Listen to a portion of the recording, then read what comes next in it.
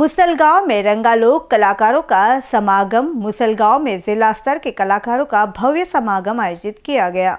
Are N city बहुद्देशीय संगठन नागपुर, विहिरगांव के पंजीकरण क्रमांक F nine five eight four की ओर से आयोजित कार्यक्रम का उद्घाटन किया गया। विधायक राजू पारवे द्वारा कार्यक्रम के अध्यक्ष कृपाल तुमाने, सांसद रामटेक लोकसभा क्षेत्र, दीप प्रज्वलन, संदीप इटकेलवार और सचिन फूनके, डॉक्टर चिंतामन भुजाड़े, बंडू बेम्बारे रामदास माने, पूर्व विधायक सुधीर पारवे मुख्य उपस्थित थे। कार्यक्रम में प्रमिला डंडारे, प्रमोद घरडे, ग्राम पंचायत सरपंच दमयंती अधिकने, लनुजी इंगले, संजय तोसर, शंकर तोसर उपस्थित थे। सांसद गंगाधर शेंडे, भावराव शेंडे, महेश शेंडे, इस दौरान सांसद द्वारा अभिनंदन किया गया। साथ ही हनुमान मंदिर मुसलगांव के प्रांगण में पंद्रह लाख से आनंद हा जीवनाचा सुगंधा परी दरवळे कार्यक्रम का आभार प्रदर्शन? अरुण सेठी संस्था के सचिव, शाहिर कालीचरण शेंडे, सोनू शेंडे, तानाजी भुजाड़े, दिलीप भुजाड़े, रंगराव खड़से, नागेश्वर खड़से, गंगाधर बोरीकर, कुणाल भुजाड़े। स्वीकृत कर कार्य पूरा करने की उम्मीद है। कार्यक्रम में नागपुर ज़िले और भंडारा, वर्धा,